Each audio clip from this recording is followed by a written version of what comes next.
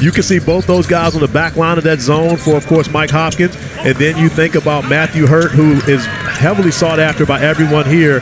Precious Achiuwa, and, of course, you know, another UNC and you think about you know Kansas recruit, and then of course Lamelo Ball in that mix. But look at the possibility.